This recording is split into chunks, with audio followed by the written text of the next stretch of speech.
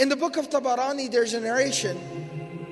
مر النبي صلى الله عليه وسلم بأعرابي وهو يدعو في صلاته. The Prophet صلى الله عليه وسلم passed by a Bedouin man and he was making dua. He was praying in his salah, making dua in his prayer, his salah. So the Prophet فوقف النبي صلى الله عليه وسلم. The Prophet صلى الله عليه وسلم stopped and he started to listen to him. And he heard the man saying, يا من لا تراه العيون. Oh, the one who eyes cannot behold in this world. ولا تخالطه الظنون. Minds cannot comprehend his greatness. ولا يصفه الواصفون. People cannot praise him as he deserves to be praised. ولا تغيره الحوادث. Situations do not change him. ولا يخشى الدوائر. He does not fear the passing of time. يعلم مثاقيل الجبال. He, Allah, is the one who knows the exact weight of all the mountains in the world. ومكائل البحار. He, Allah, knows the exact volume of all the oceans in the world.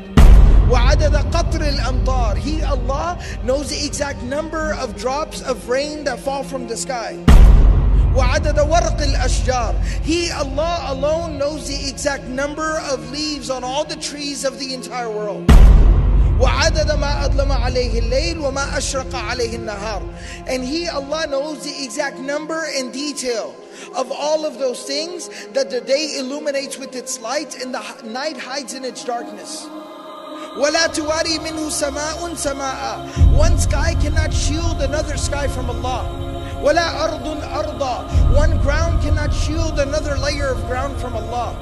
ولا جبل ما في وعره and a mountain in its deepest darkest cave cannot hide anything from Allah ولا بحر ما في قعره and the ocean in its depths and darkness cannot hide anything from Allah and then he makes a dua he says اللهم جعل خير عمري آخره he says oh Allah make the best part of my life the last part of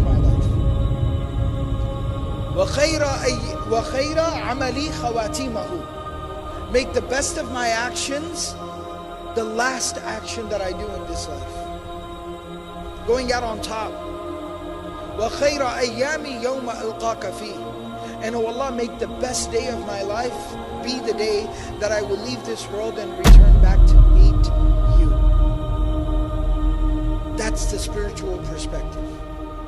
that is the benefit and the blessing of reconnecting with Allah subhanahu wa ta'ala.